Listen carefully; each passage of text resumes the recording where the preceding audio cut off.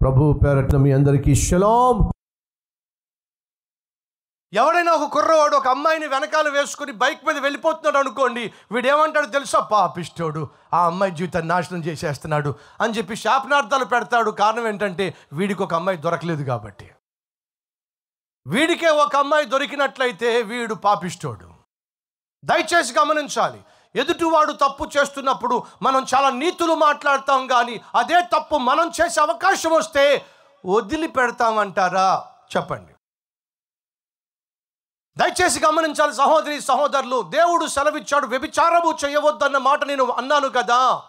ధర్మశాస్త్రము సెలవిచ్చింది కదా. ఆ చూపుతో చూసే ప్రతి వాడు వ్యభిచారము చేసినట్టే. అనగా నువ్వు వ్యభిచారం చేస్తేనే దేవుని దృష్టిలో వ్యభిచారివి కాదు ఆ చూపుతో చూస్తేనే దేవుడు నేను వ్యభిచారిగా లెక్కిస్తున్నాడు. నీకు ఆ తలంపు ఉంటేనే ఆ తలంపులను బట్టి కూడా దేవుడు తీర్పు తీరుస్తాడు. అనగా నువ్వు క్రియాపూర్వకంగా పాపము చేయకపోయినా పాపము చెయ్యాలి అనే బుద్ధి నీలో ఉంటే నీ బుద్ధిని బు నీ బుద్ధిని బట్టి దేవుడు తీర్పులోనికి తీసుకుంటాడు.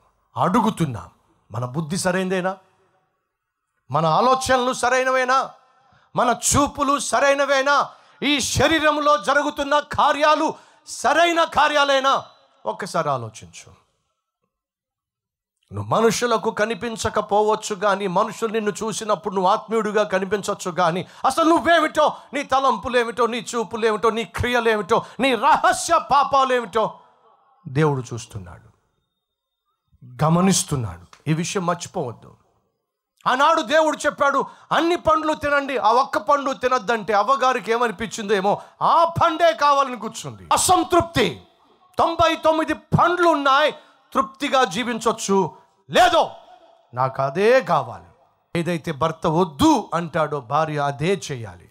ఏదైతే దేవుడు వద్దు అంటాడో మనిషి అదే చేయడానికి తెగిస్తున్నాడు. ఆ రోజు దేవుడు ఏ పండు అయితే వద్దు అన్నాడో అవ్వ ఆ పండు కోసమే ఆశించింది. దేవుడిచ్చినటువంటి తొంభై తొమ్మిది పండ్లను పక్కన పెట్టేసింది. అసంతృప్తి. సహోదరులు సహోదరులు మరొక్కసారి జ్ఞాపకం చేస్తున్నా. ఈ లోకంలో ఉన్న అన్ని భాగ్యముల కంటే మహాభాగ్యము ఏమిటో తెలుసా? నువ్వు కలిగి ఉన్న దానిలో తృప్తిగా జీవించటం. నీవు కలిగి ఉన్న దానిలో తృప్తిగా జీవించటం నీకు చేతకాకపోతే నువ్వు ఏమి కోరుకుంటున్నావో అందులో కూడా తృప్తిగా ఆనందించటం నీ వల్ల కాదు. నా మాట మీకు ఏమైనా అర్థమైందా? మరొక్కసారి చెప్తున్నా.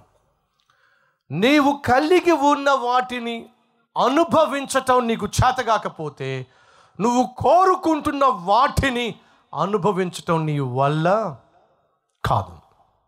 If you are not satisfied with what you have you will never be satisfied with what you want నువ్వు కలిగి ఉన్న దాన్ని బట్టి సంతోషించడం నీ చేత కాకపోతే నువ్వు కోరుకుంటుంది పొందుకున్నా సరే నీకు సంతోషం ఉండదు.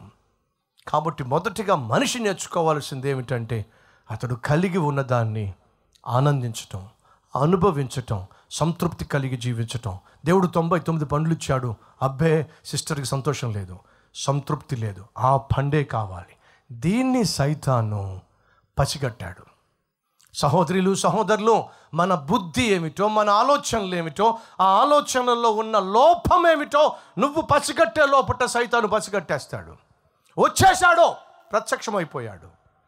అవ్వను మాయం చేసేసాడు భర్త లేని సమయంలో ఒంటరిగా ఉన్న సమయంలో అవ్వను సైతాను శోధించాడు.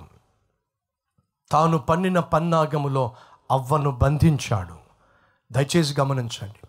ఒక మనిషి యొక్క వ్యక్తిత్వం ఏమిటో ఒక మనిషి యొక్క ఆత్మీయ తత్వం ఏమిటో నలుగురు ఉన్నప్పుడు కాదండి బయటపడేది సాధారణంగా ఒంటరిగా ఉన్నప్పుడే మనిషి యొక్క వ్యక్తిత్వం ఏమిటో బయటపడుతుంది.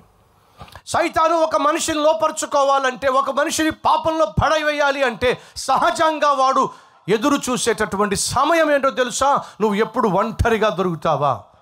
ఒంటరిగా దొరికినప్పుడే నిన్ను వల వేసి పట్టుకుంటాడు. మర్చిపోకండి. ఒకవేళ అటువంటి ప్రేరేపణకు నువ్వు లొంగుతున్నట్లయితే సైతానుకు నువ్వు దొరికిపోతున్నావు. సత్యం మర్చిపోవద్దు. పరిశుద్ధుడా సూటిగా స్పష్టంగా మాతో మాట్లాడా ఆదాము అవ్వ కలిగి ఉన్నటువంటి జీవిత విధానం ఎప్పటికీ క్షేమం కాదని ఆ జీవిత విధానాన్ని ఏ ఒక్కరూ వెంబడించకూడదని పరిశుద్ధ గ్రంథంలో స్పష్టంగా వారి గురించి లిఖింప చేశావు ఈరోజు మాతో సూటిగా మాట్లాడావు. విత్తబడిన ఈ వాక్యాన్ని విన్నటువంటి నీ బిడ్డలు అయ్యా మార్పును కోరుతున్నారు. సైతాను తంత్రములను కుతంత్రములను జయించే బ్రతుకును ప్రతి ఒక్కరికి దయచేయమని. ప్రతి భర్త అరుపులు కేకలు కొట్లాట్లు మాని భార్యను ప్రేమించాలి. ప్రతి భార్య తన గయ్యాలితనాన్ని గొంతెమ్మ కోరికలను పక్కన పెట్టి భర్తకు లోబడి జ్ఞానము కలిగి తన ఇంటిని నిర్మించుకొని బిడ్డల ఎదుట ఒక మంచి తల్లిగా ఒక మంచి తండ్రిగా మేము కనిపించాలి. అట్టి కృప దయచేయమని. ఏసునామం పేరట వేడుకుంటున్నాం తండ్రి. ఆమెన్.